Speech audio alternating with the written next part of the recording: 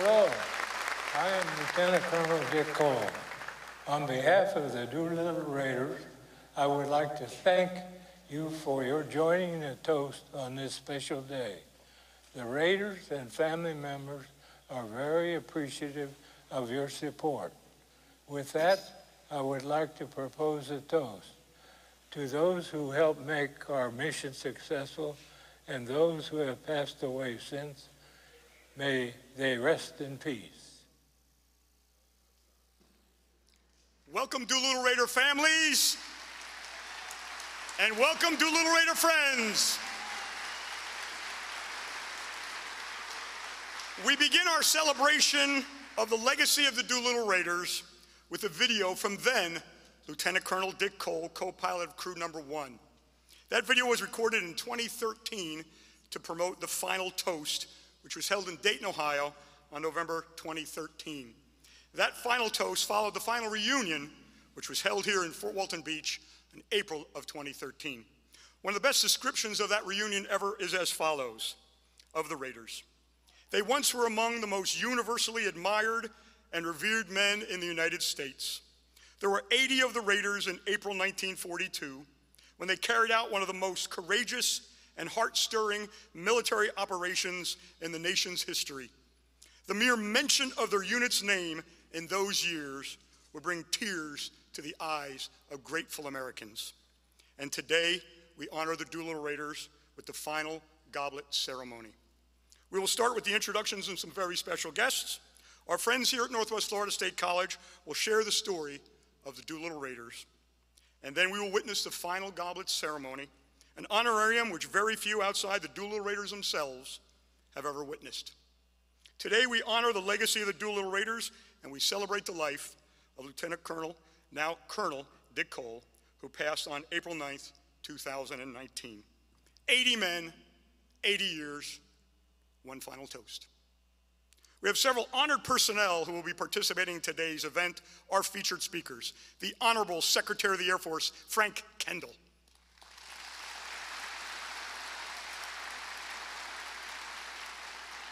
Chief of Staff, United States Air Force, General Charles Q. Brown, Jr.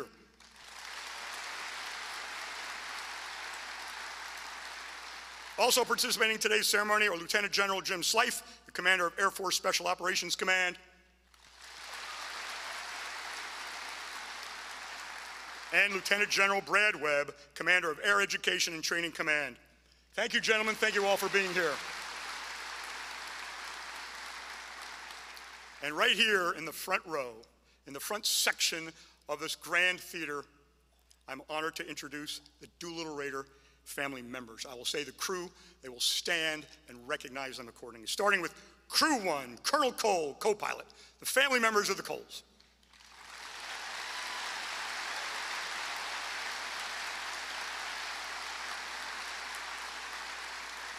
Now, for the rest of you, you can turn and wave. Don't be shy. You can turn and wave. One guy did it. You did good. I was proud of you. Also with Crew One, Colonel Potter, navigator.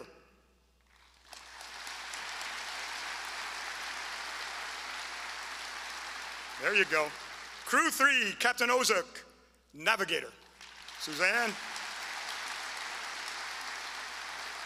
Crew Five, Colonel Wilder, co pilot.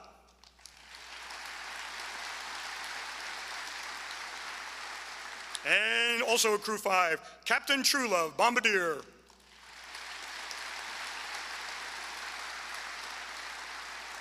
Crew six, Lieutenant Hallmark, pilot.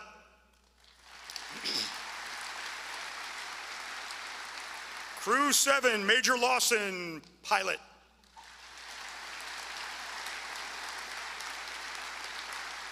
Also with crew seven, Staff Sergeant, Engineer Gunner, David Thatcher.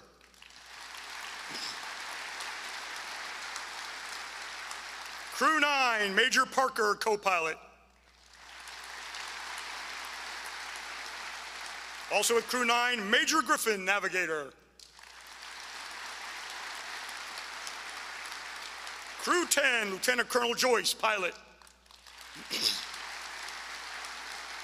also Crew 10, Lieutenant Colonel Crouch, navigator, bombardier.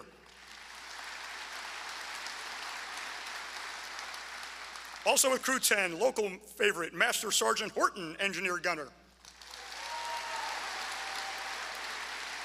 Ed Horton lived here in Fort Walton Beach. Crew 12, Colonel Bower, pilot.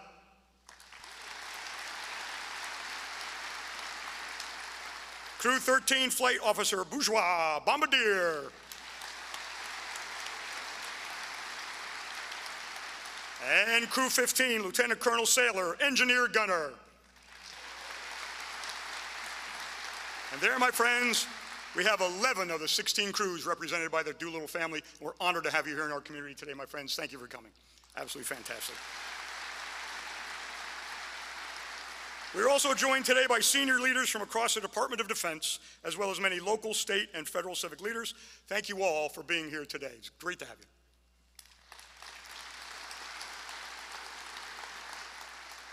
For many years, airmen, soldiers, Marines, Coast Guardsmen, and many retirees have called the greater Fort Walton Beach area home. And during that time, our local military community has participated in combat operations spanning the globe. So today, in honor of the 75th anniversary of the Air Force, we would like to recognize a few of the significant contributions they have made to our national defense. Representative of the 16 B-25 crews we are honoring today, we have invited 16 local active duty and veterans to represent the legacy of each crew and the con contributions of an untold number of fellow airmen. So please help me honor and welcome these great Americans and the countless service members they represent. So most of us here today have read about Pearl Harbor, have seen movies about Pearl Harbor, and have always wondered, what would it have been like to be there on December 7th, 1941? Well, our first great American was there. Chief Warrant Officer Frank Emond.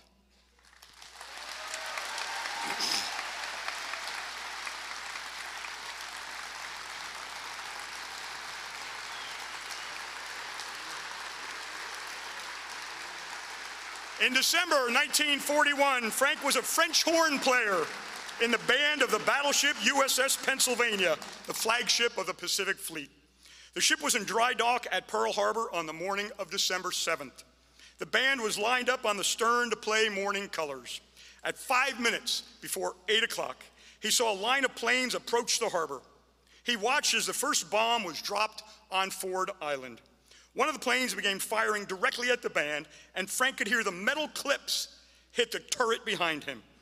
After running to their battle stations, he felt the ship shudder as they were hit by a bomb and caught fire. Frank served as a stretcher barrier carrying casualties to safety and allowing the crew to fight fires. That night, he was issued an M1 rifle and he stood guard duty on the dock. He stayed in the Navy and became a band leader, retiring in 1968 as a chief warrant officer. Today, he told me, not only was he there at Pearl Harbor, but today he told me that on their mission at the USS Pennsylvania, he saw the flotilla that included the USS Hornet later on that year in 1942. Today, at 103 years old, he holds the distinction of being the oldest music band conductor according to the Guinness Book of World Records. My friends, Chief Warrant Officer Frank Emond.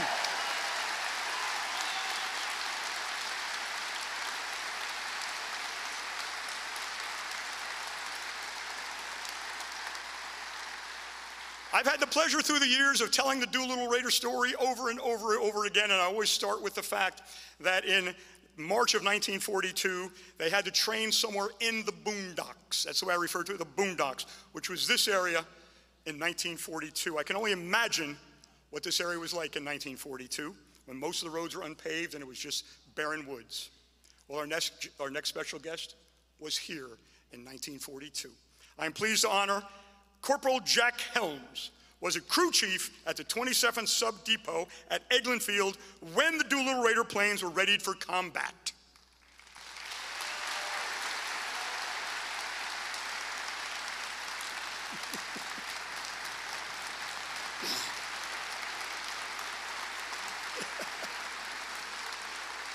Jack remembers that while in training one of the Raider pilots flew too low over the Gulf of Mexico, allowing the plane's props to hit a massive wave. He says, I still can't believe the pilot managed to bring that plane back to the hangar, even though the propellers were bent straight forward by the mishap. As the crew chief, it was Jack's assignment to see that the engine was changed ASAP. The task was finished by midnight, the plane pushed out of the hangar, taken on a successful pre-flight, and ready to take part in Doolittle history. Jack says, none of us knew what the men were training for. We learned later that the men who took part in the raid themselves didn't know either until after they departed Eglin Field. During a recent interview I had with Jack, I asked him his secret to good health. Every morning, one tablespoon apple cider vinegar, one tablespoon honey stirred into some hot chocolate or some hot water before he drinks his coffee. My friends, Jack Helms is 104 and will turn 105 in a couple of months. Corporal Jack Helms.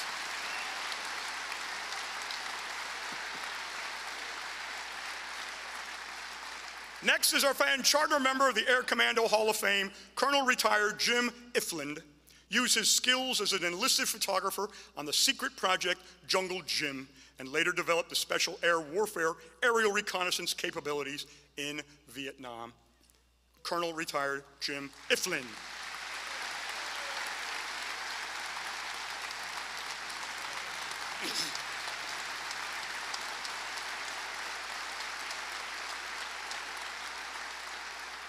Colonel retired Larry Ropka was key to the mission planning for the Son Tay raid into North Vietnam to rescue POWs. He is also a charter member of the Air Commando Hall of Fame, Colonel retired Larry Ropka.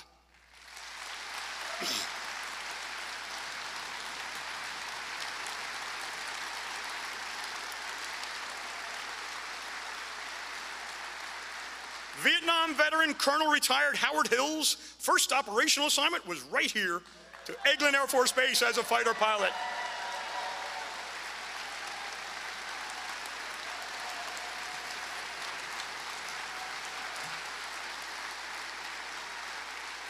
On a deployment to Thailand in 1967, he flew several attack flights in which he evaded intense anti-aircraft fire, surface-to-air missiles, and threats from hostile aircraft. On his 70th mission over North Vietnam, he was forced to eject from his F-4 and held as a prisoner of war for five years. Colonel retired Howard Hill.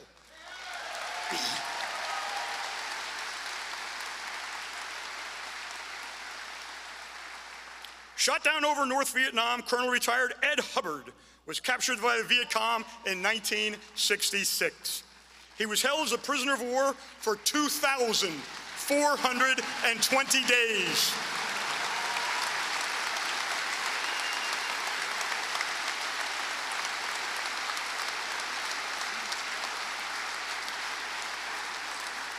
Colonel Hubbard was a prisoner of war for nearly seven years, living on less than 300 calories a day. Colonel Hubbard successfully returned to duty and retired from Eglin Air Force Base in July 1990. After he retired, he became a motivational speaker so others could benefit from the lessons he learned in captivity. Colonel retired Ed Hubbard.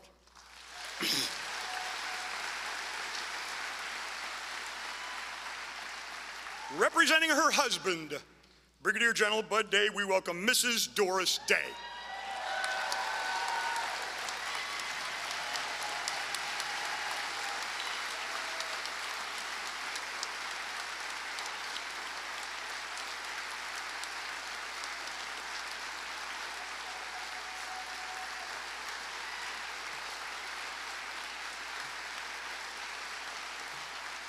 After five years and seven months as a prisoner of war, Colonel Day was released and remained in the Air Force. Colonel Day was awarded the Medal of Honor, the Air Force Cross, and is considered one of America's most decorated officers. He was awarded the 2013 recipient of the Doolittle Tokyo Raiders Wings of Valor Award and was advanced to Brigadier General after his passing in 2018. Doris, while raising their four children, of which one here is George, was a state national leader in the effort to bring the Vietnam POWs home, as well as garner better support for families of those deemed missing or killed in action. Bud and Doris were married for 64 years. Mrs. Doris Day.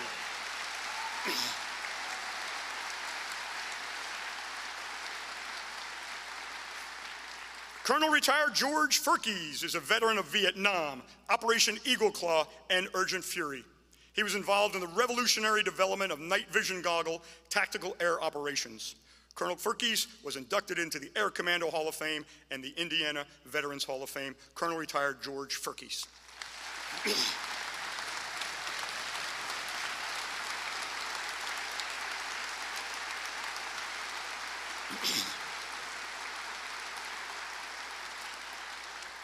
Chief Master Sergeant retired Bill Walter is a veteran of Operations Eagle Claw, Urgent Fury, Just Cause, Desert Storm, Deny Flight, and a few we can't yet mention.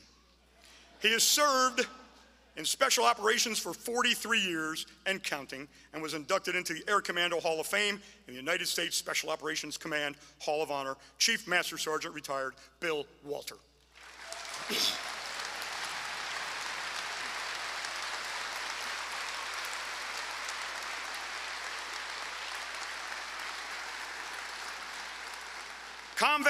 Of Operations Just Cause, Desert Storm, Restore Hope, Deny Flight, and Deliberate Force, Master Sergeant retired Wes Fields. Served as a gunner on the AC 130.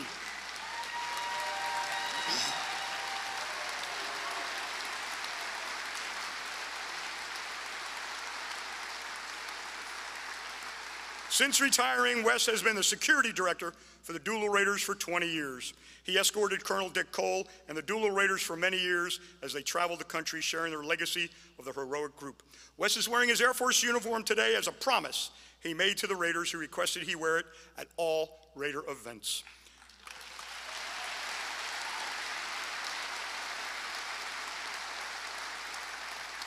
Through his years of service to the Raiders, he was awarded the opportunity to wear the Raider patch on his uniform, one of only two non Raiders to receive that honor. Master Sergeant retired Wes Fields.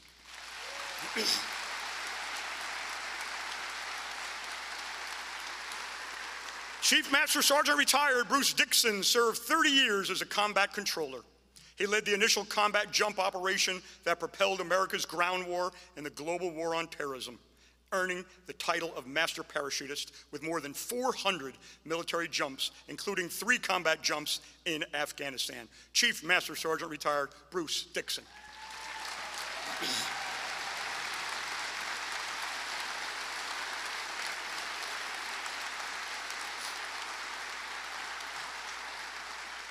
As a flight engineer on the CV-22 Osprey, Master Sergeant Michael Rogers enabled the safe infill and extraction of Special Operations Forces during 70 direct action missions in Afghanistan. In 2012, he earned the Air Force Combat Action Medal for identifying an RPG headed directly for their aircraft and calling the evasive action maneuvers, resulting in the RPG exploding right off the tail of the aircraft, saving the lives of his crew. Master Sergeant Michael Rogers.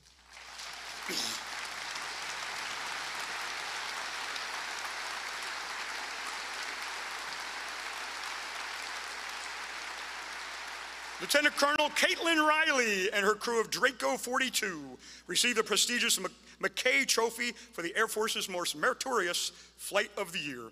Draco 42 distinguished themselves while supporting a special operations mission to capture a time-sensitive, high-value target. Despite receiving several rounds of enemy fire, Draco 42 continued to lead the highly complex and rapidly evolving mission. Their efforts yielded valuable intelligence on top Al-Qaeda leadership and removed multiple enemy combatants from the battlefield. Lieutenant Colonel Caitlin Riley.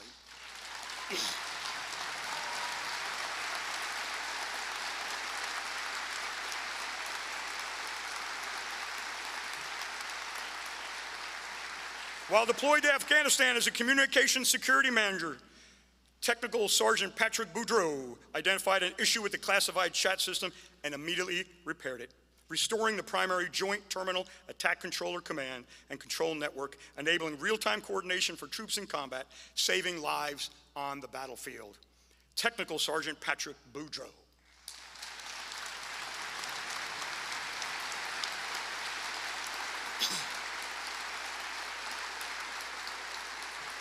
Master Sergeant Joshua Height deployed in support of Operation Iraqi Freedom, Operation Inherent Resolve, and Operation Freedom Sentinel as part of the Resolute Support Mission.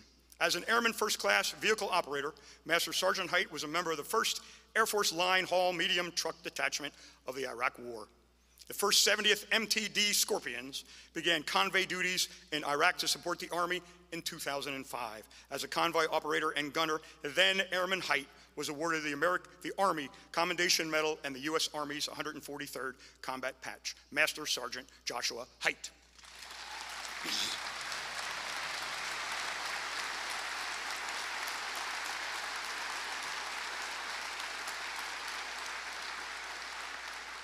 As an intelligent analyst, Technical Sergeant Paul Brown designed the unit's first open source intelligent database, enabling the use of publicly available information to expose enemy tactics and movements.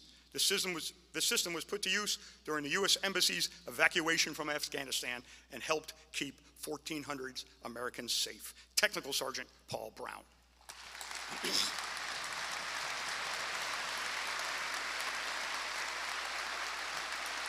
Ladies and gentlemen, let's give a big round of applause to all of our veterans and airmen who have served or are currently serving in the United States Air Force.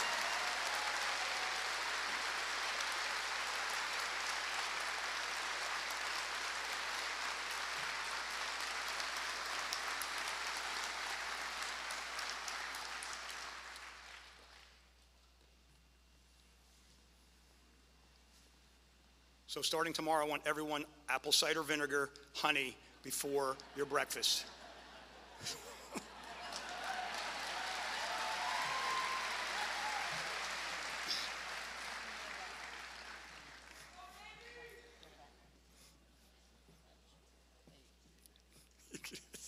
Jack has another story to tell me. Hold on. Not right now. We'll get him, we'll get him afterwards.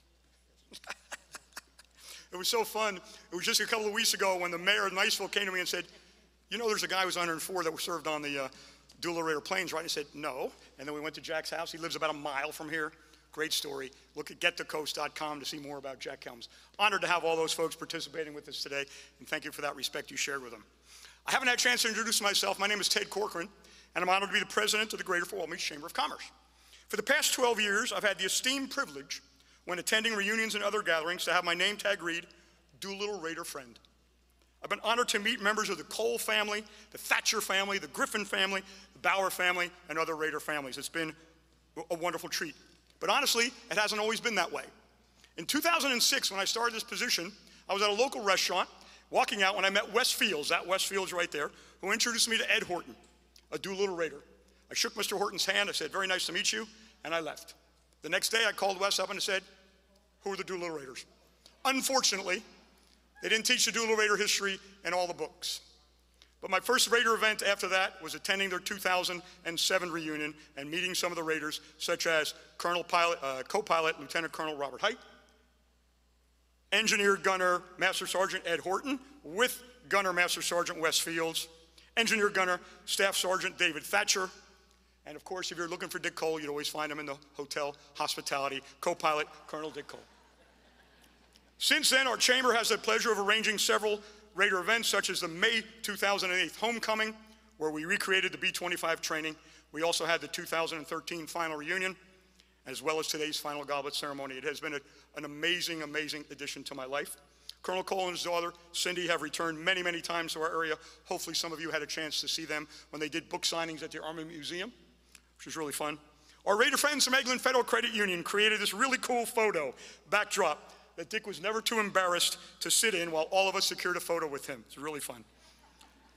I even made certain one time to make sure that my daughter took my grandson Landon out of school to make sure that he had the opportunity of meeting Colonel Dick Cole. During his last visit in early 2019 to celebrate the 75th anniversary of the Air Commandos, our staff visited Dick and Cindy before they headed home. We were honored to see them one more time.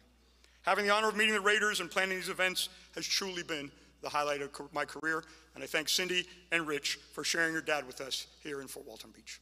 It was a wonderful time, a wonderful time. Ladies and gentlemen, Please stand for the presentation of the colors by the Hurlburt Field Honor Guard, the singing of the national anthem by Mr. Aaron Cole, who is the grandson of Colonel Dick Cole, and remain standing for the invocation by Major General Charles Baldwin, United States Air Force retired. Hurlburt Field Honor Guard, present the colors. Ho! Dance! Ho! Ice! Order!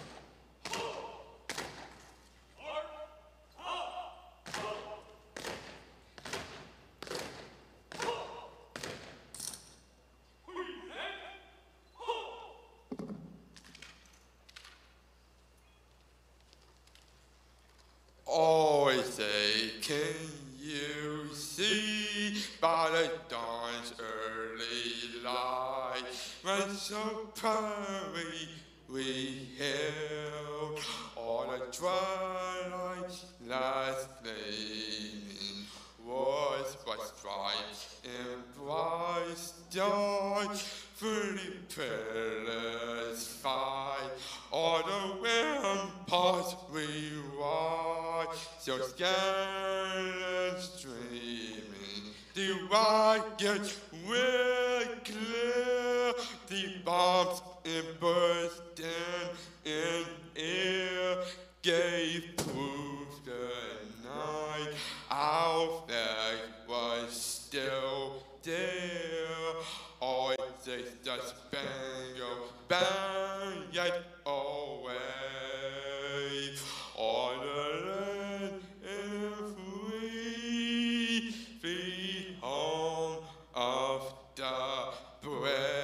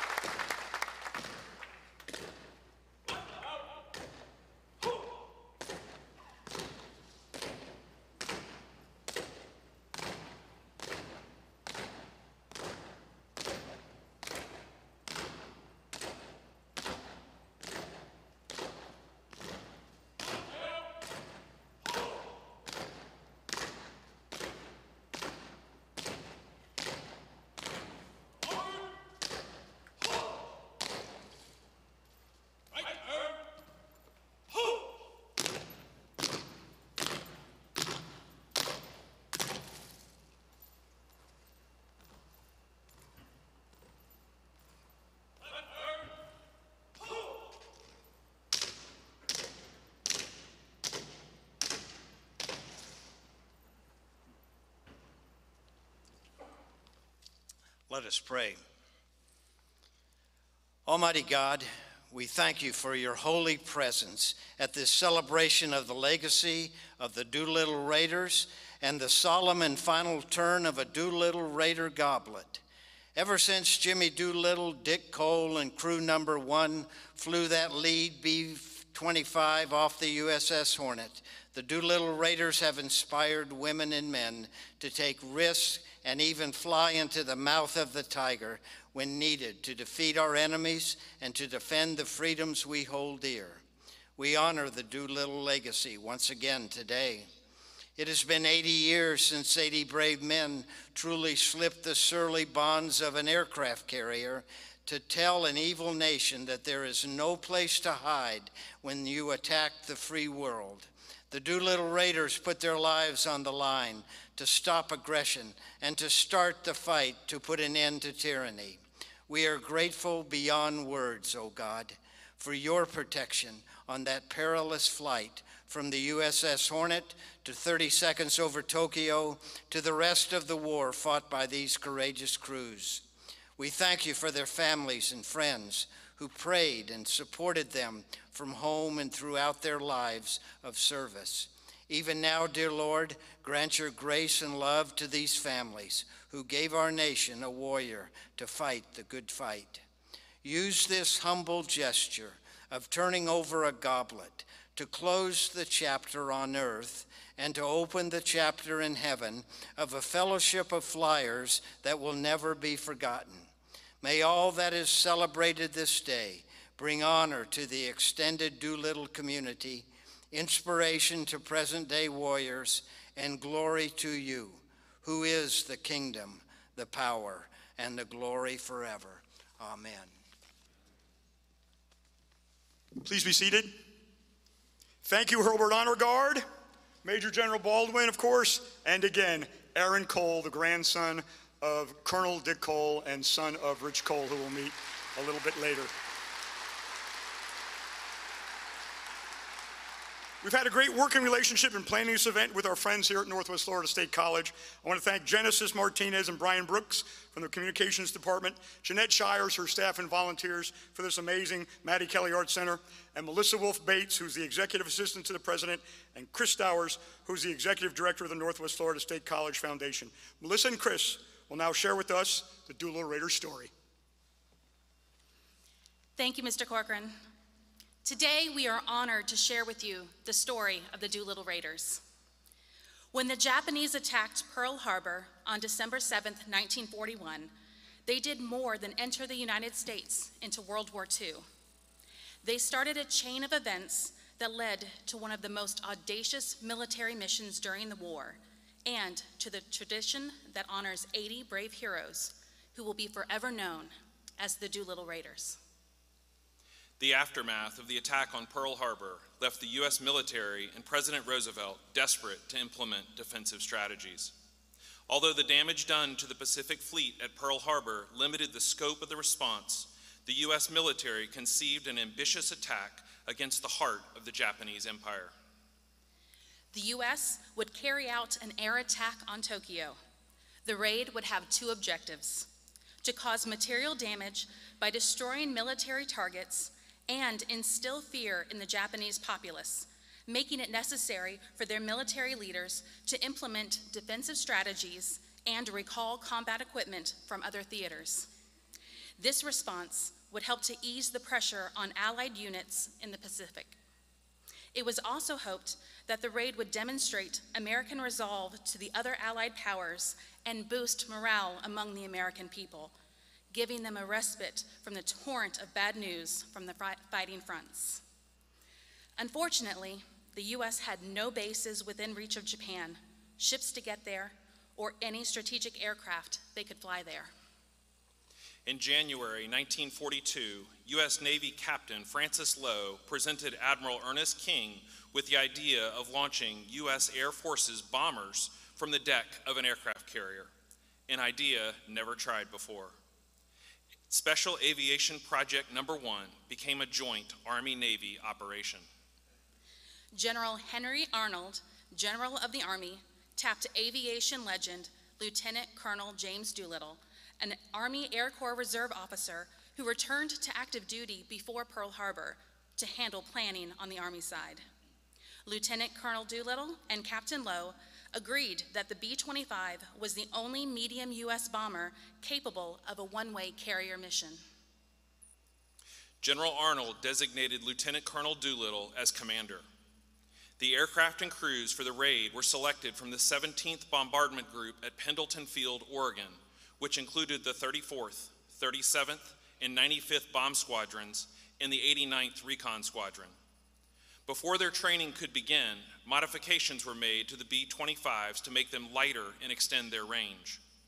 The bomber's fuel capacity was almost doubled, their radios were removed, and their belly turrets were replaced with an additional gas tank. To make up for the removal of the defensive turret, a mock tail gun was created out of painted broomsticks to deter Japanese fighters from attacking from the rear. All the planes and men were transferred to Columbia, South Carolina for refitting.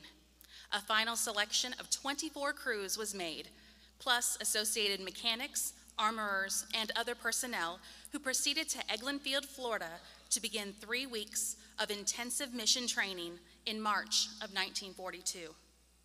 White lines simulating a carrier flight deck were drawn on two runways of an auxiliary field on Eglin, and pilots practiced getting the fully loaded bombers into the air in the required distance. Crews received instruction in cross country flying, night flying, low altitude bombing, and navigation. Flights over the Gulf of Mexico were scheduled to permit pilots and navigators to become accustomed to flying without visual landmarks or radio guidance. Gunners received rudimentary training with their weapons as there was no time to perform air to air drills with towed targets. Although Lieutenant Colonel Doolittle acknowledged that additional preparation would have been ideal, time was of the essence, and the Raiders departed for California at the end of March. Training regimens continued aboard the Hornet, with gunners engaging in turret practice using kites flown from the ships as targets. Crews were thoroughly briefed about the specific targets. Each flight of three planes was assigned to one particular course, but the Raiders' approach was spread over a 50 mile front, creating the impression that more aircraft took part in the raid and diluting the Japanese air defense's effectiveness. April 18th, 1942. 16 B-25s, Mitchell medium bombers, sit on the pitching deck of an aircraft carrier at sea. Their mission? Bomb Tokyo, just four months after the attack on Pearl Harbor. It had three real purposes. One purpose was to give the folks at home the first good news that we had had in World War II. It caused the Japanese to question their warlords. And from a tactical point of view, it caused the retention of aircraft in Japan for the defense of the home islands when we had no intentions of hitting them again seriously in the near future. Those airplanes would have been much more effective in the South Pacific where the war was going on. A Navy captain named Low conceived the idea of taking Army medium bombers off of a Navy carrier and attacking Japan. The B-25 was selected because it was small, because it had the sufficient range to carry 2,000 pound bombs, 2,000 miles, and because it took off and handled very well. First, I found out what B-25 unit had had the most experience, and then went to that crew, that organization, and uh, called for volunteers. And the entire group, including the group commander, volunteered. The training was hard. No one had ever taken off a fully loaded B-25 in less than 500 feet. First, they had to prove it could be done. Then they had to train the people to do it. Before they were through, one of the Mitchells would lift off in only 287 feet. The crews proved they were good, and so were their airplanes.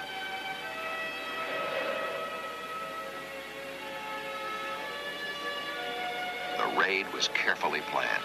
Nothing was left to chance. Norden bomb sights were replaced by 20 cent improvised models to prevent the secret devices from falling into enemy hands. Doolittle then considered what to do if the task force was spotted by the Japanese. If we were intercepted by Japanese surface or aircraft, our aircraft would immediately leave the decks. If they were within range of Tokyo, they would go ahead and bomb Tokyo, even though they would run out of gasoline shortly thereafter. That was the worst thing we could think of. And uh, if we were not in range of Tokyo, uh, we would go back to Midway. If we were not in range of either Tokyo or Midway, we would permit our airplanes to be pushed overboard so the decks could be cleared for the use of the carrier's own, carrier Hornets, own aircraft. On the morning of April 18, 1942, the task force was sighted by Japanese patrol boats.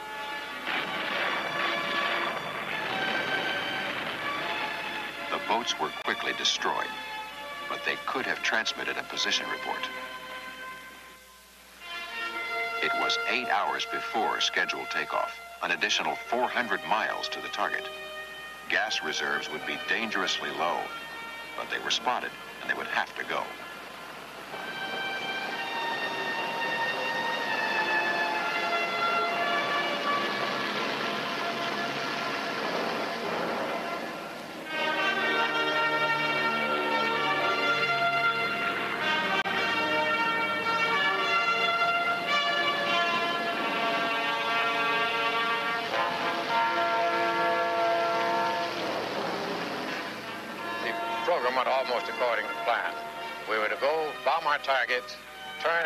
General southerly direction, get out to sea as quickly as possible, and after being out of sight of land, turn and take a westerly course to China.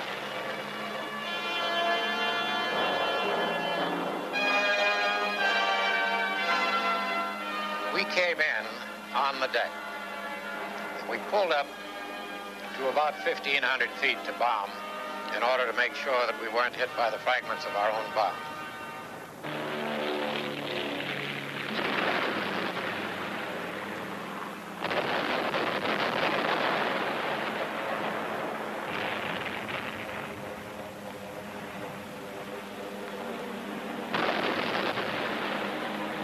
And I would say that the feeling was get the job done and get the heck out of there. The actual damage done by the raid was minimal. We were 16 airplanes, each carrying one ton of bomb. In later raids, General LeMay, with his 20th Air Force, sent out 500 planes on a mission, each carrying 10 tons of bombs. Reaching a safe haven after the raid wasn't easy. And because they had to take off much sooner than planned, they were very low on fuel. One crew went to Vladivostok. The other 15 of us proceeded until we got to the coast of China. When we got to China, two airplanes were so low on fuel that they landed in the surf alongside of, of the beach. Uh, two people were drowned, eight of them got ashore. The weather was quite bad, and uh, so we flew on till we got to where we thought we were as close as we could get to where we wanted to go, having been on dead reckoning for quite a while that we weren't precisely there, and then we all jumped. 80 crew members flew in the Doolittle raid. 64 returned to fight again. They were part of a team recognized for its professionalism and heroism. A rich heritage remembered by a new generation of airmen.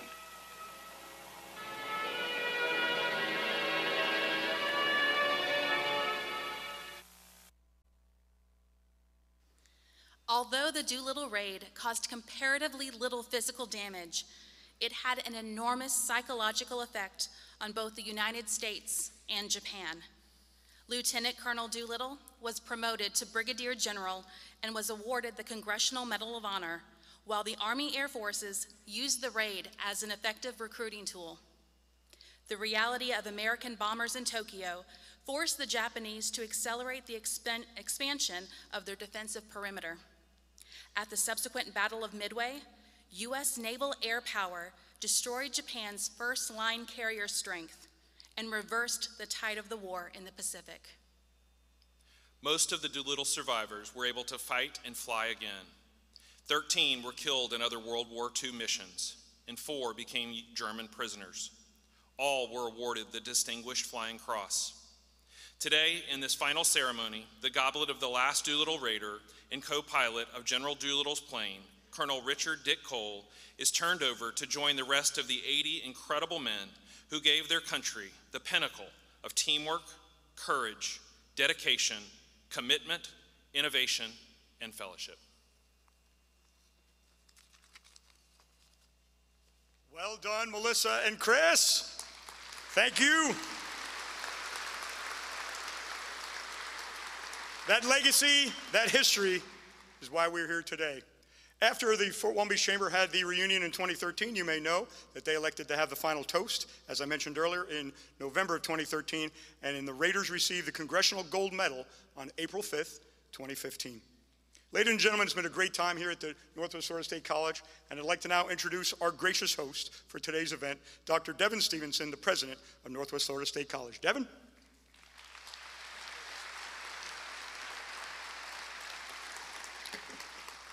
Thank you, Ted. It is indeed an honor for our college to host this very special ceremony in honor of the Doolittle Raiders, and specifically Colonel Richard Cole, who served as General Doolittle's co pilot and a member of Crew One.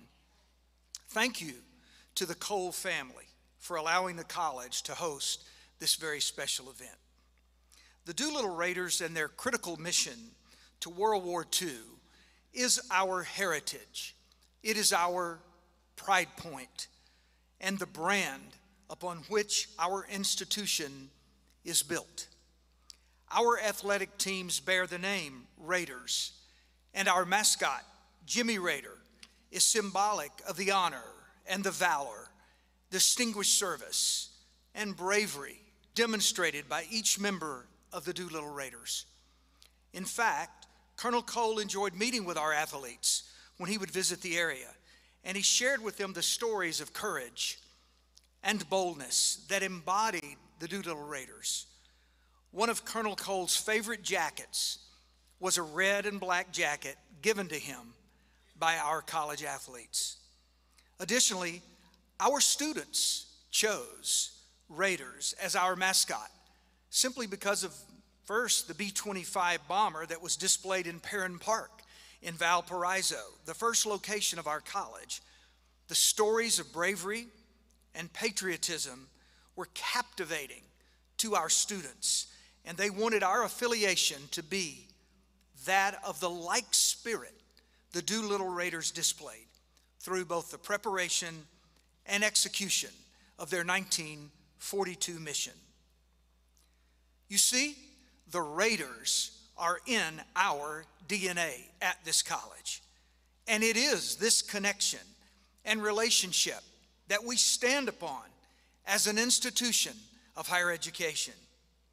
To all who hear me today, know that we will continue to honor the Raiders and we will celebrate their bravery, which brings about innovation and creativity. We will celebrate their planning, which fosters effectiveness and efficiency. And we will celebrate their mission, their mission execution, which ensures that our students develop a life plan and complete that plan that leads them to a bright and successful future. It is an honor this afternoon to introduce the Honorable Frank Kendall, who is currently the 26th Secretary of the Air Force, responsible for organizing, training, and equipping the U.S. Air and Space Forces. He is a graduate of the U.S. Military Academy at West Point and served 11 years as an active duty Army officer, including assignments in Germany, teaching engineering at West Point, and in research and development positions. He is an attorney and was active in the field of human rights, working primarily on a pro bono basis. He has more than 50 years of experience in engineering, management, defense acquisition, and national security affairs across private industry, government, and the military. Ladies and gentlemen, the Honorable Frank Kendall, Secretary of the Air Force.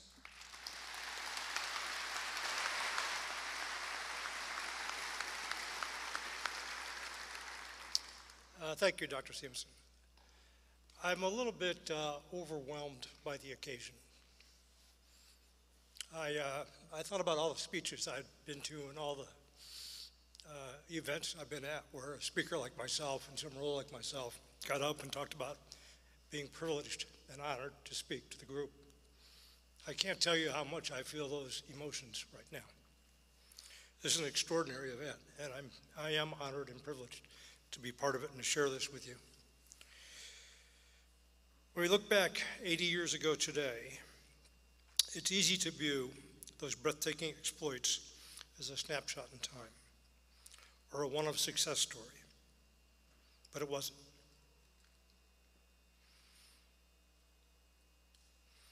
The Raiders led the way, and many have followed, and many preceded them.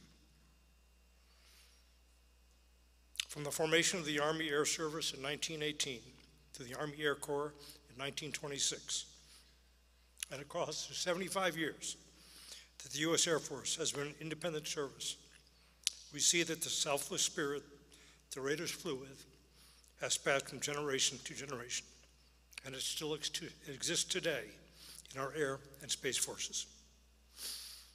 80 years later, it seems as if these men had a choice. But they did not feel that way.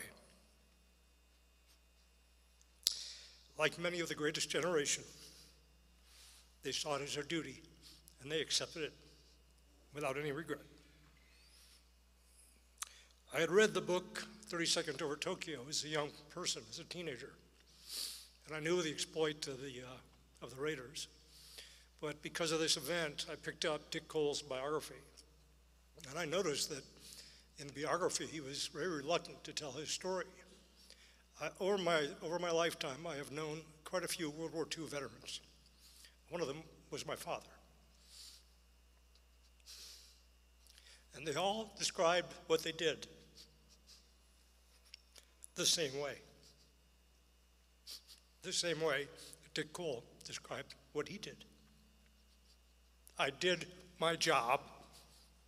I did my job.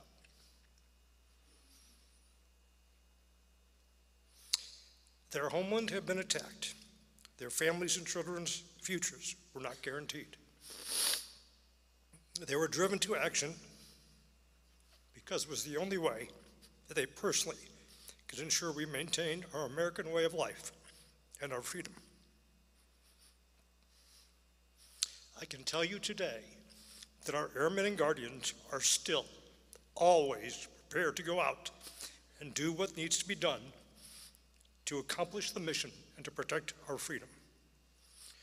Our airmen and guardians are the living embodiment of what the Raiders accomplished 80 years ago today. With the passing of Colonel Dick Cole in 2019, we no longer enjoy the physical manifestation of the Raiders' presence, but their legacy lives on in our minds and actions, both individually and collectively, and it always will. Thank you.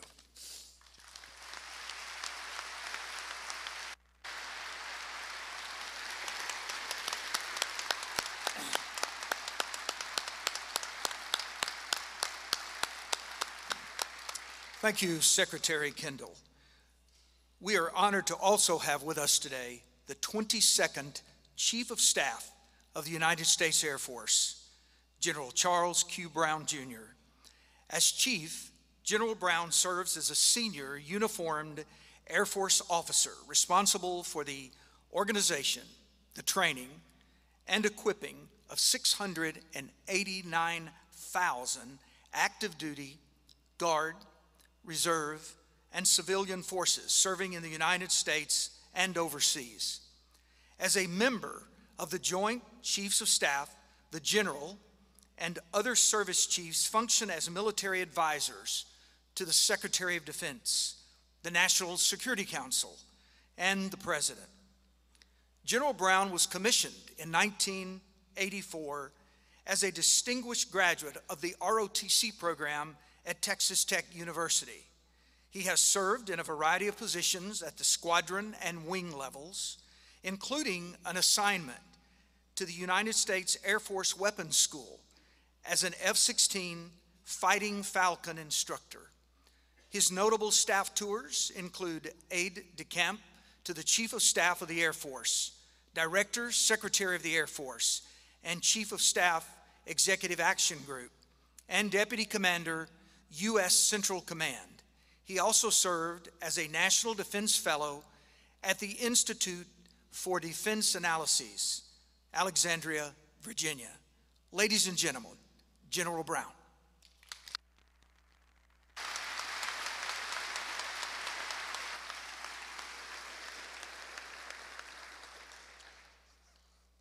Jimmy Doolittle once said, Nothing is as strong as the heart of a volunteer.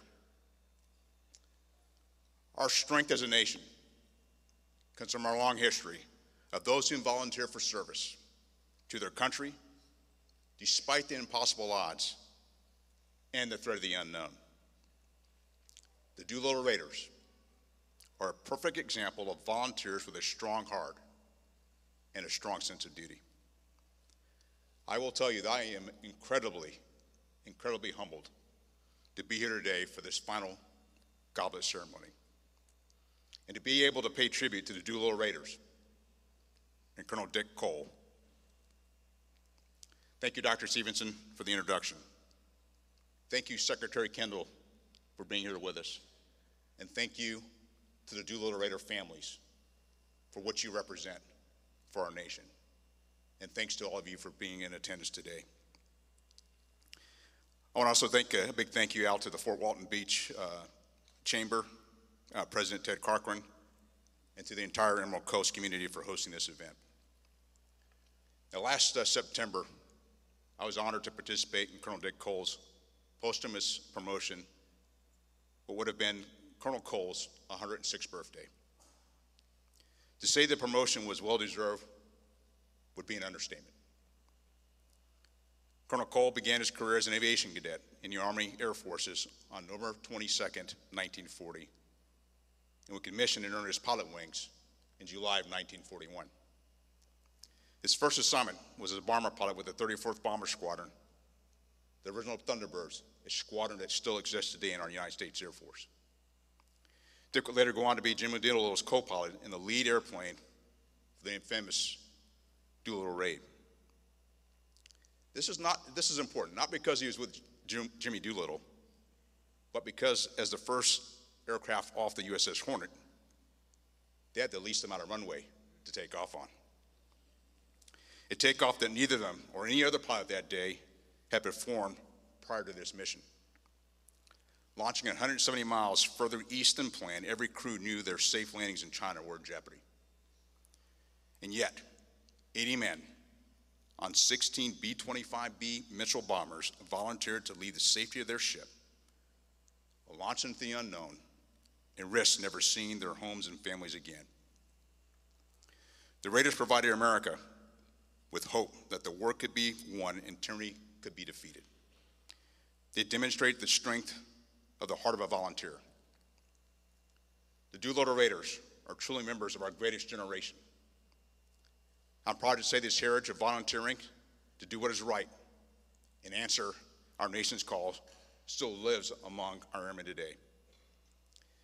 If you've seen in current events in Europe, the airlift out of Afghanistan last year, and every day around the world, our airmen answer our nation's call. And as their chief of staff, I could not be prouder. As we reflect on this 80th anniversary of the Doolittle Raid and the 70th anniversary of our United States Air Force, we are the greatest today because of our airmen. Airmen like Colonel Dick Cole and airmen like the Raiders. And we never forget the contributions of these 80 bold airmen. It is important to honor their sacrifices and courage in the face of uncertainty.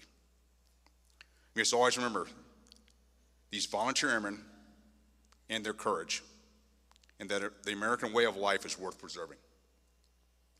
Our Air Force is the greatest in the world and the greatest in the history of the world because we have the greatest airmen in the world that serve our great nation. As the world is becoming more uncertain and complex, I'm certain of a few things. I'm certain, just like past generations, America's sons and daughters will volunteer to rise to the challenge. I'm certain our men will always answer when called upon, just like the Doolittle Raiders did 80 years ago. And I am certain your Air Force will always be there to execute our mission, to fly, fight, and win air power anytime, anywhere. Thank you very much.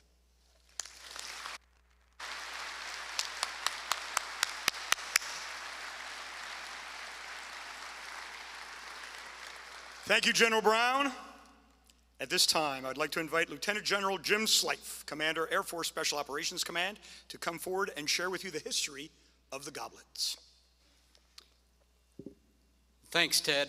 Today, I'm honored to share with you the storied history of the 80 silver goblets you see before you. Before they launched on the raid, Jimmy Doolittle told his men, if we make it back from this, I'm going to throw you guys the biggest party you've ever seen. Doolittle kept his promise. In December of 1945, all of the raiders that could converged in Miami, Florida for General Doolittle's birthday. It must have been a hell of a party because the hotel sustained substantial damage. Someone suggested they gather every year, but Doolittle protested, saying he couldn't afford it. However, they did agree to gather every year on the anniversary of the raid. Their first reunion was in Miami in April of 1947, which began a tradition that would last more than 70 years. Soon, cities around the country were waiting in line to host the reunions. In 1959, the city of Tucson, Arizona presented the Raiders with a set of sterling silver goblets, each bearing the name of one of the 80 men who flew on the mission. Raiders who had passed prior to that date had their names engraved once with the goblet upside down. Goblets of the surviving Raiders were engraved twice, so their names could be read when the goblet was uh, right side up or upside down. The goblets were kept at the U.S. Air Force Academy for many, many years, and two cadets would escort the goblets to the reunion each and every year. In 2005, the surviving Raiders voted to move the goblets from the Air Force Academy to the National Museum of the United States Air Force, located at Wright-Patterson Air Force Base in Ohio, where they're permanently displayed alongside an exhibit featuring a restored B-25 bomber representing Doolittle's plane. In 1973, Dick Cole built a portable display case for the goblets so they could more easily be transported to the reunions. When transported, the 80 gleaming silver goblets were placed in Cole's blue velvet lined case consisting of four separate panels arranged left to right, representing the crews 1 to 16 based on their takeoff position in the raid. Each column from top to bottom consists of the pilot, the co pilot, the navigator, the bomber, and then the gunner. When a raider passed away, their goblet was turned over at a ceremony held at the reunion.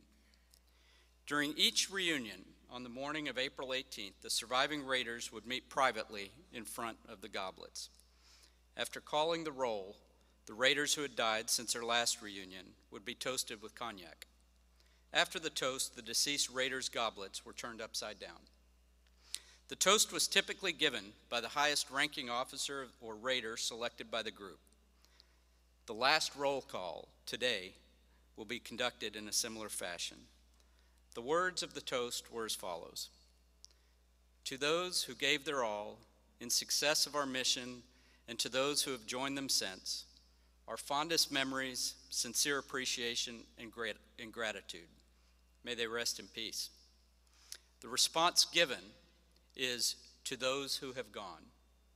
For those in the audience today, that will be everybody's part during today's ceremony. To those who have gone. During the roll call, the names of each raider is called out by crew. If the raider was present, he would respond, present. If the name called had passed, a raider, a raider was assigned to respond, here. Like the goblets hearkening back to the times of the Roman legions, Vikings, and King Arthur's Knights of the Round Table, the Raider goblets symbolized the attributes of the 80 men who participated in the mission duty, honor, and courage.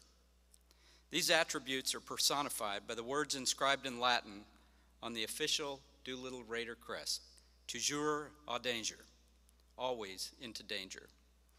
With the passing of Colonel Richard E. Dick Cole on the 9th of April 2019, the last Raider has joined his comrades. Our air commandos also lost a hero, as Colonel Cole had a tie to AFSOC heritage as a member of the 1st Air Commando Group in World War II. In 1956, Hennessy gifted General Doolittle a bottle of cognac laid down in 1896, Doolittle's birth year. It was this bottle that was placed in the goblet case and preserved for the final toast in 2013. For many years, Hennessy has graciously provided cognac for the Raider toast. The final ceremony today is no exception. It's now my pleasure to welcome Lieutenant General Brad Webb, Commander of the Air Force's Air Education and Training Command, to the podium to conduct the final Doolittle Raider Goblet ceremony.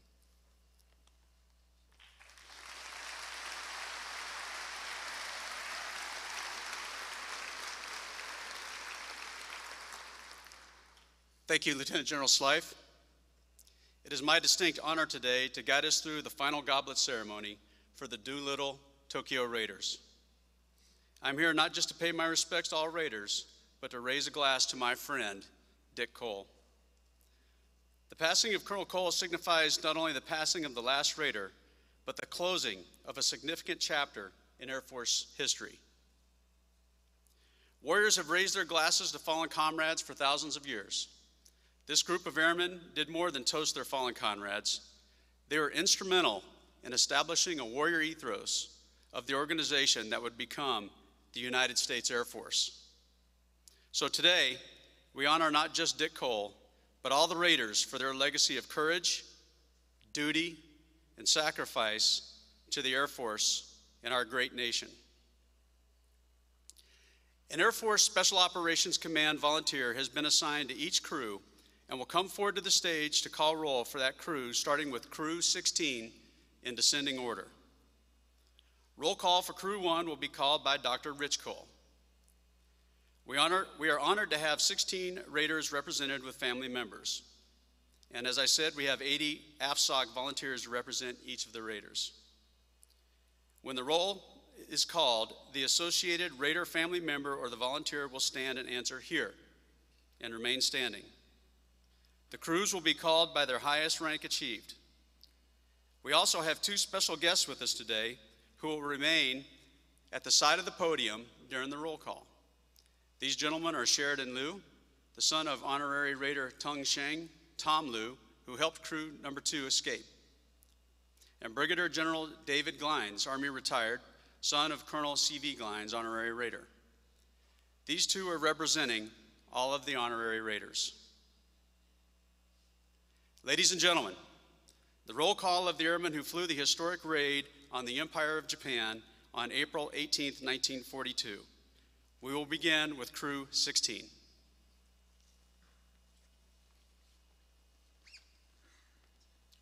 Crew 16, Pilot First Lieutenant William G. Farrow. Co-pilot Lieutenant Colonel Robert L. Hite. Navigator Captain George Barr. Bombardier Staff Sergeant Jacob D. DeShazer. And Engineer Gunner Sergeant Harold A. Spatz. Crew 15, Pilot Captain Donald G. Smith. Co-pilot Major Griffith P. Williams. Navigator Bombardier Major Howard A. Sessler. Gunner Major Thomas R. White, Flight Surgeon. And Engineer Gunner Lieutenant Colonel Edward J. Saylor. Crew 14. Pilot, Brigadier General John A. Hilger. Co-pilot, Colonel Jack A. Sims. Navigator Bombardier, Colonel James H. Macia. Radio Gunner, Master Sergeant Edwin V. Bain. Engineer Gunner, Major Jacob Eierman.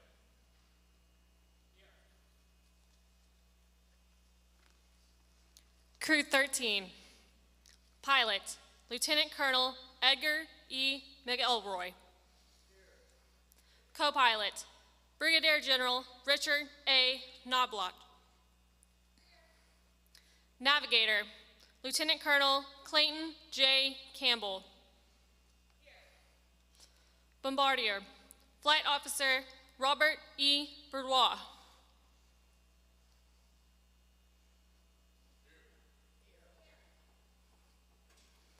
Engineer Gunner Master Sergeant Adam R. Williams.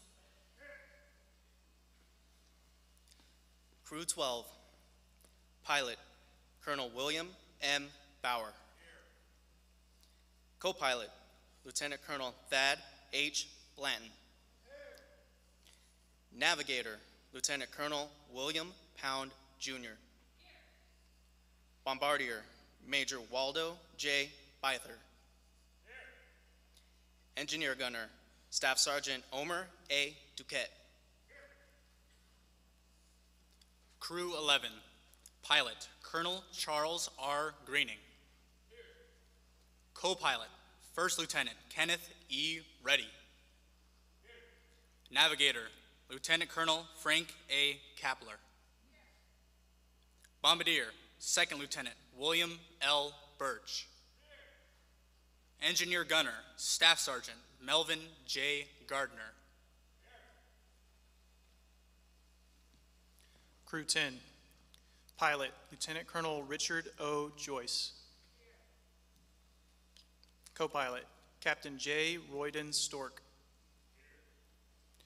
Navigator Bombardier Lieutenant Colonel Horace E. Crouch. Engineer Gunner Staff Sergeant George E. Larkin Jr. Gunner Master Sergeant Edwin W. Horton Jr. Crew 9, Pilot Lieutenant Colonel Harold F. Watson. Co-pilot Major James M. Parker Jr. Navigator Major Thomas C. Griffin. Bombardier First Lieutenant Wayne M. Bissell. Engineer Gunner Lieutenant Colonel Eldred V. Scott. Crew 8, Pilot Colonel Edward J. York. Co-pilot Colonel Robert G. Emmens. Here. Navigator Major Nolan A. Herndon. Here. Bombardier Master Sergeant Theodore H. Laban. Engineer Gunner First Lieutenant David W. Pohl.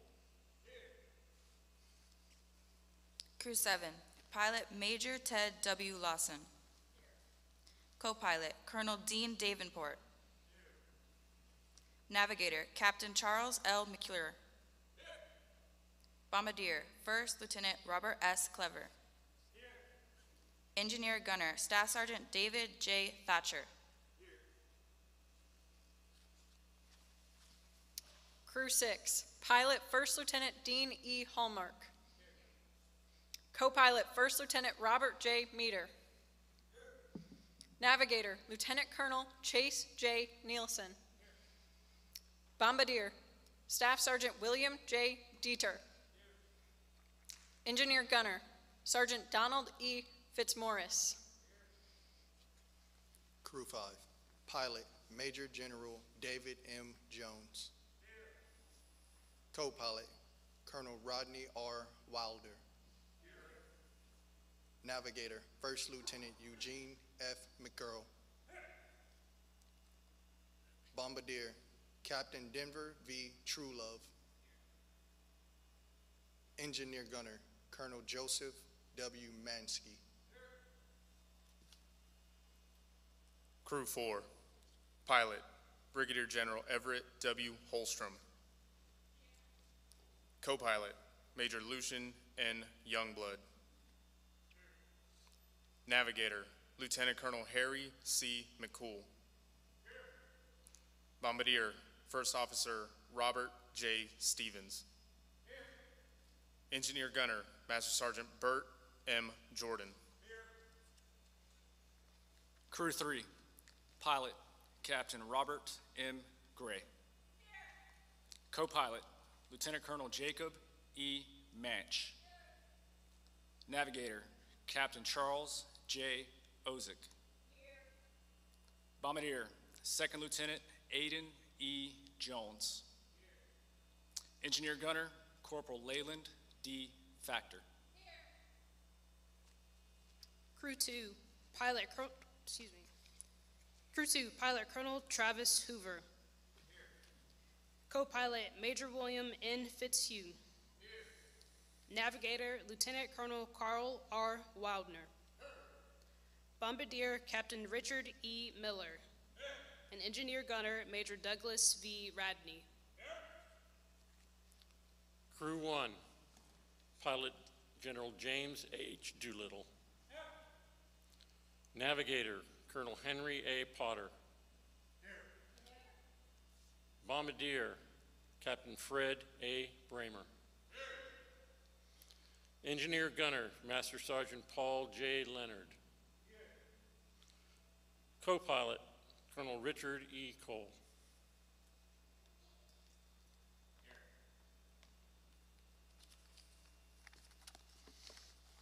Ladies and gentlemen, please take your seats.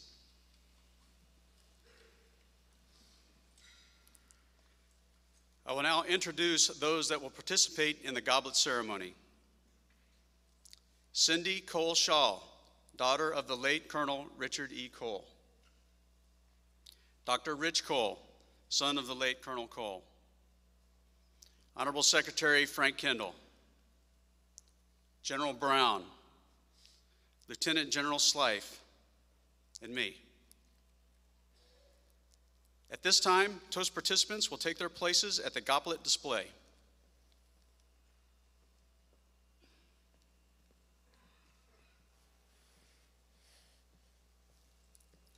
As the glasses are being passed out, a video of past Raider toasts will be shown. At the conclusion of the video, I invite Secretary Kendall to do the honors of the final toast. You describe it. I can't. I, um, what has happened over the course of the years, we we've uh, really maintained a, a feeling towards one another. And when we see each other once a year or more, if we have just, they're just uh, just an, uh, an affinity, I guess it is. It's, uh, that's different. Gentlemen, I propose a toast.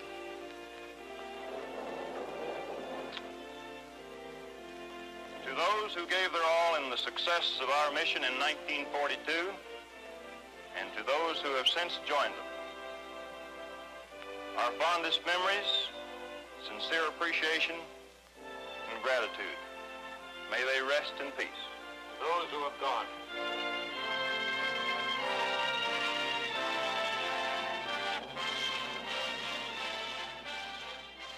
Gentlemen, we will now drink a toast to our deceased. To those who gave their all in success of our mission,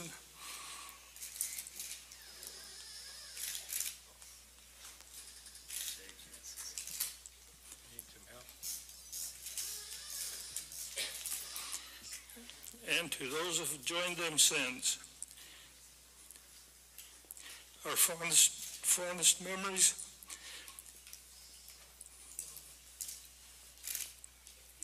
sincere appreciation and gratitude. May they rest in peace. To those who have gone. To those who have gone.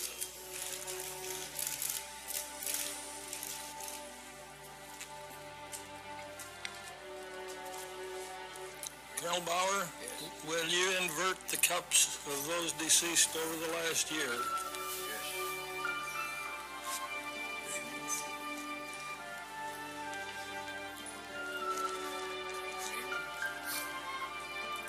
Henry A. Potter, Harry McCool, Roy Stork,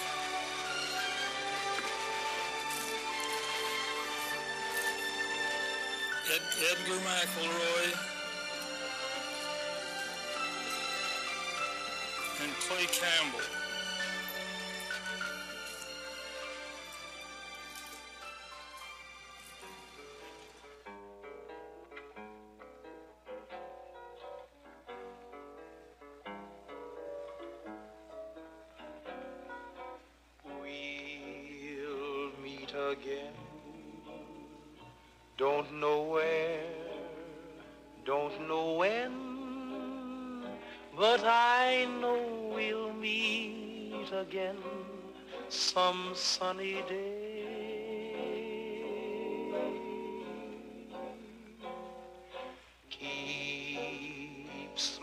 Through, just like you always do till the blue skies drive the dark clouds far away.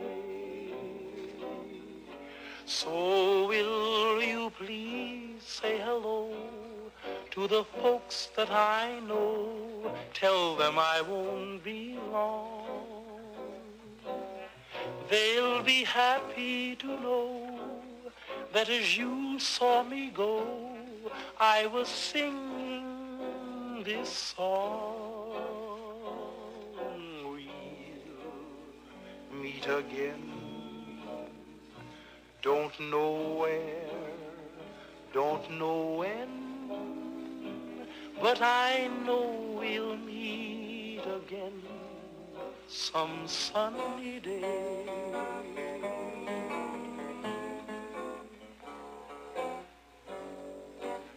Yeah, we'll meet again.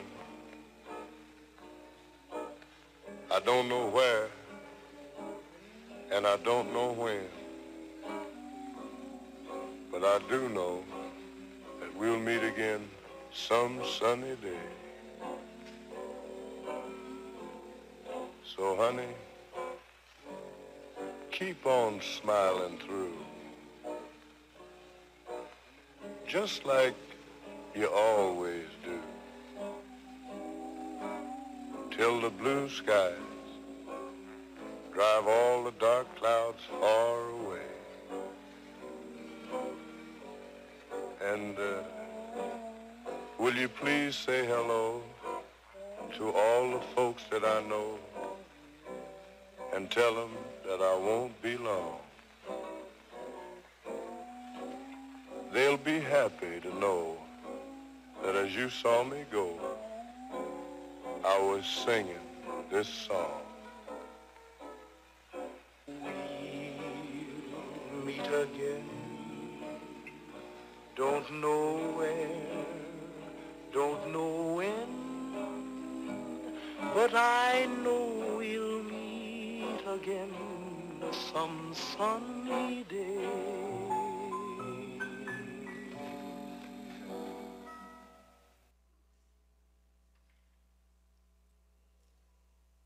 Ladies and gentlemen, I propose a toast to the Doolittle Raiders who gave their all in support of the mission.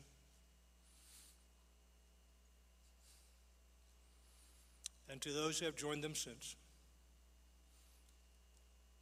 Fondest memories, sincerest appreciation, and gratitude.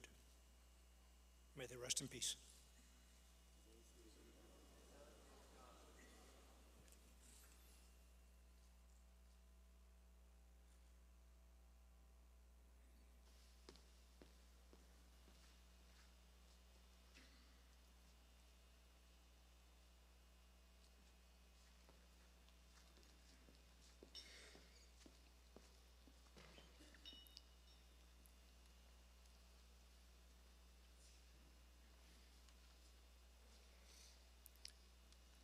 Following the tradition of the Raiders, Rich will remove his father's goblet and hand it to Cindy.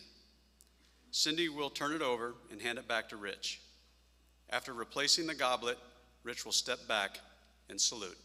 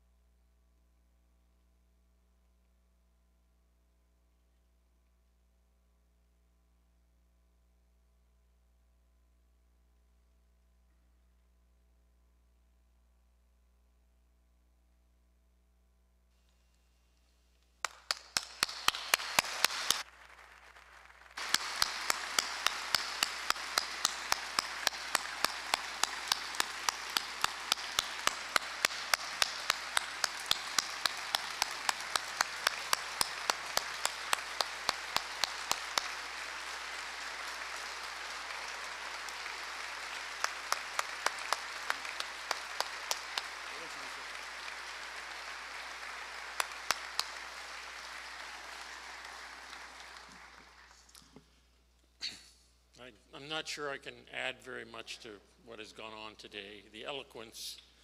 Um, but we need to, uh, Cindy and I, and in fact, all the Raider families want to thank um, some folks. um, right, we can't thank you enough uh, for the effort that has been put into this event. Um, Secretary Kendall, General Brown, Lieutenant General Slife, um, Lieutenant General Webb, um, you do us a great honor, not only by your presence here, but your willingness to enter into this, this event and uh, make the effort to do it. We thank you so much.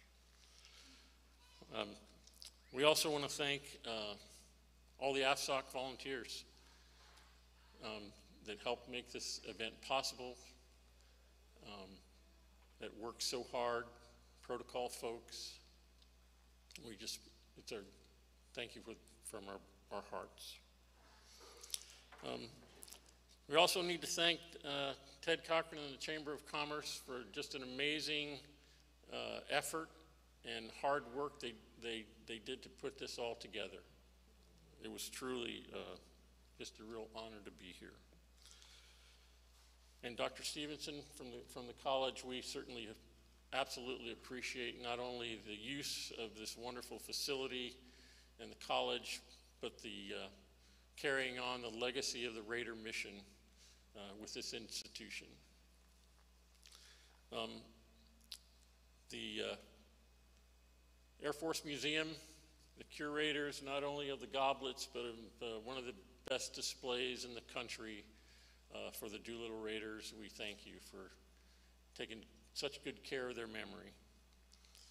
Alan Thompson from Hennessy could not be here today, but over the years they have graciously provided the not only the cognac, but contributed a lot of money to the Doolittle Raider uh, Scholarship Fund, and we, we appreciate that. We'd also like to thank the Warbirds um, that flew in here at their own expense to, uh, to be here at this event. You guys should have known better than give an old fighter pilot the microphone. the good news is after 30 seconds, I'll sit down because I'll forget what I was supposed to do. Um, I want to say one more thing. Um, uh, Secretary Kendall and General Brown spoke to it, but I'm going to say it again because um, I hope that we never forget it. Webster's defined legacy as um, something that's passed down from an ancestor or predecessor. We've talked a lot about the, the memory of the Raiders today. The legacy is something a little harder to define. When the 17th Bomb Group got to uh, South Carolina, there was a notice posted on the board that went something like, we need volunteers for a secret mission. Many of them wrote their names down. When General Doolittle got there, he gathered them together and said, we're going to be going on a very dangerous mission, and there's if you want to back out, there's no hard feelings. They all went anyway. Not very many miles from this very spot, when they were getting ready uh, to deploy to California, be loaded on the Hornet, General Doolittle gathered them together once again, and he told them, This mission is going to be very dangerous. You may not come back. They all went anyway. on this very day, the morning of this very day, after they'd been spotted by the Japanese, he gathered them together one last time and he said, This is a very dangerous mission. He didn't have to tell them that they weren't coming back because they already knew. They didn't have enough gas. They all went anyway. Please indulge me for a second. If you're currently serving active duty, Guard or Reserve, please stand.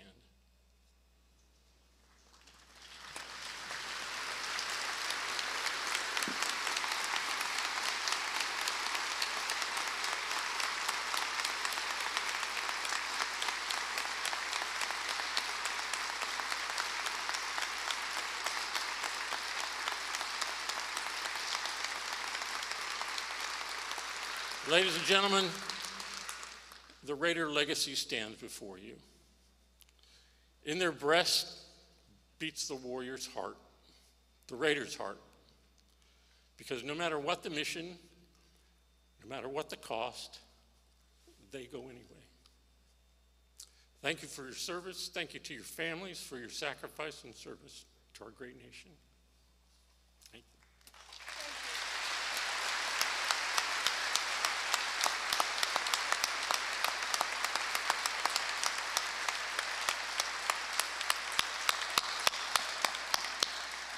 Thank you, Dr. Cole, Cindy Cole Schall.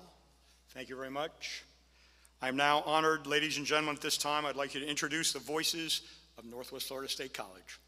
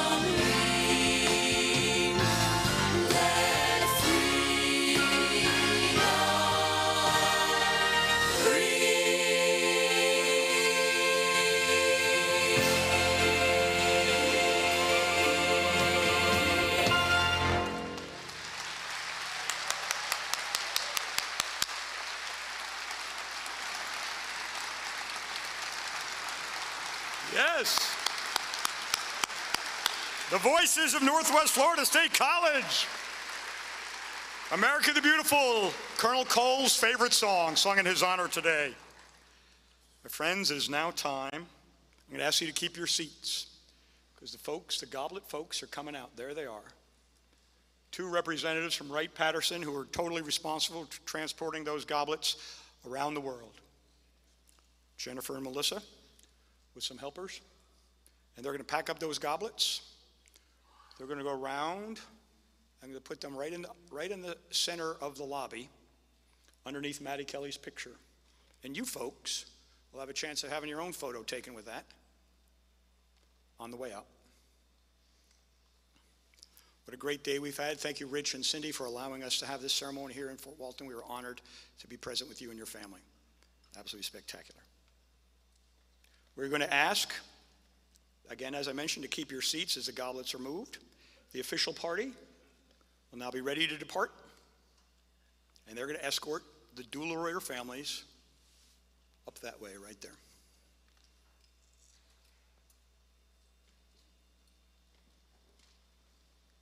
There we have it. Secretary Kendall, General Brown, Lieutenant General Slife, Lieutenant General Webb, thank you again, gentlemen, for being here today. Doolittle Raider families, please stand and follow out our distinguished guests as you head towards the aisle. I will advise everyone again, the goblets will be out in the middle of the category. Hopefully you'll have a chance to see some of those crew photos that were taken by FASTSIGNS or, or blown up by FASTSIGNS that are outside.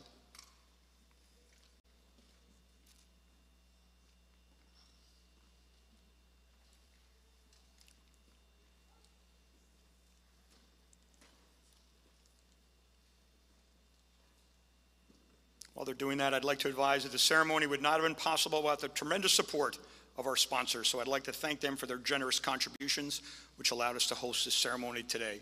We have up there Bank of England Mortgage, Bit Wizards, Eglin Federal Credit Union, Emerald Coast Harley Davidson.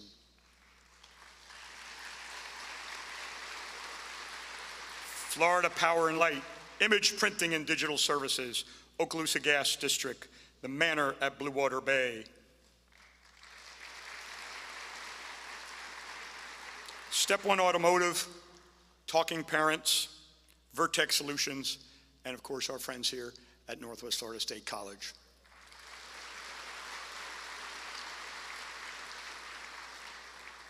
I want to thank the chamber staff, Seth Luttrell, Rochelle Graves, Dana Steinbeiser, Christina Jackson, Jasmina Girardi, and Debbie Dodge for all their efforts in making this happen, my friends. So thank you to them. Thanks to Dawn Hart and Charma from AFSOC and Hurlburt for their efforts.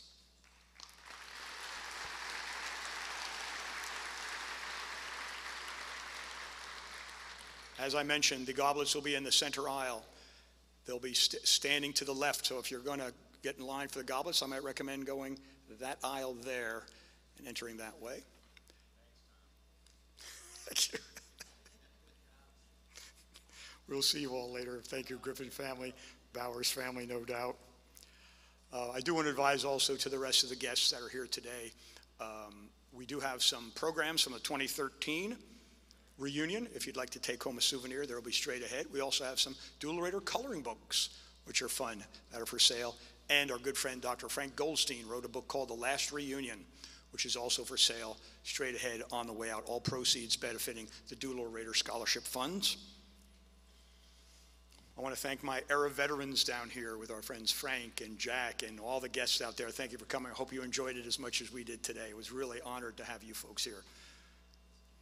And then, as you are aware, I hope you know that tonight at 5 p.m. down on the island, they're taking off from Hurlburt and they're going to the Destin East Pass. We'll have the largest aerial review flyover ever in uh, Northwest Florida with 29 planes. Starts at 5 p.m.